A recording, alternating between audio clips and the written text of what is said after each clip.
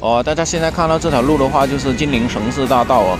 呃，收费站也拆了，以后金陵镇的话，很有可能要呃融入这个南宁市市区了。哦，那今天发现的呃这个风水宝地啊，就是在金陵城市大道的旁边。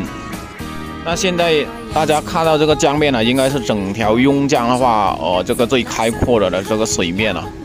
啊不包括这个横线的西津啊，因为那边已经属于豫江了，不是属于邕江的了。啊，然后江边的话有一个小的村落，他们非常的幸福，因为一开门一开窗的话，就是非常开阔的一个江面，生活在风景里面。大家看到没有？这边真的是风水宝地哦，很宽的一个大湾哦。这离这个南宁市又近了，离这个十步收费站。还有几几公里啊！以后开发了这边，真的这个风景真的绝美。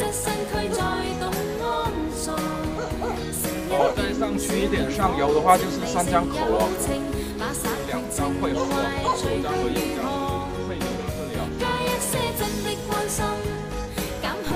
哦，大家看到没有？这个水质啊，非常的清澈，非呃新色见底，旁边呢险的地方都可以看到底下的，非常的清啊。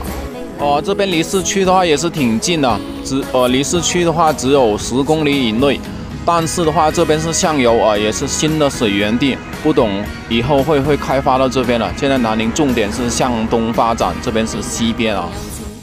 如果这边以后真的要开发的话，在这边呃开发这个房地产真的非常绝美啊，真的不输呃目前在市区里面任何一个湖景还有江景啊，真的这边的。水面啊非常宽阔，市区里面都没有这么宽阔。呃，往这个古庙啊、塘塘那边也没那么宽阔，主要是这边建了一个水库啊，这个老口水库啊，现在这个江面非常宽阔，它一直呃到这个三江口都那个水面都好宽阔了，特别是这边，这边应该是最开阔了。啊，目前的话，这个片区也是水源地了，所以希望大家以后啊来到这边观光啊，坐游艇啊，或者是呃钓鱼啊，千万不要丢垃圾到呃江里面，因为我们平时喝的水很有可能就从那边过来的。哦，现在整条邕江的话，这个水质啊，真的比以前要好很多，清澈很多了。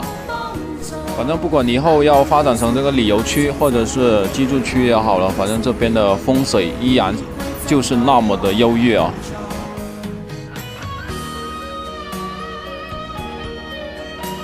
啊，那本期视频的话就分享到这里了，非常感谢大家的观看，再见，拜拜。